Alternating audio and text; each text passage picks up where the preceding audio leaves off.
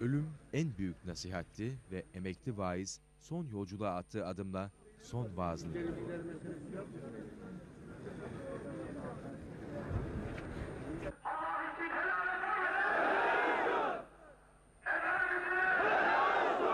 Önceki gece geçirdiği kalp krizi sonucu hayata veda eden Timurtaş Hoca için bugün son vazife yerine getirildi.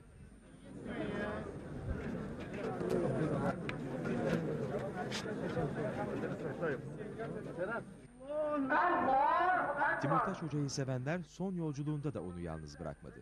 Fatih Camii'nde kılınan cenaze namazına binlerce insan katıldı.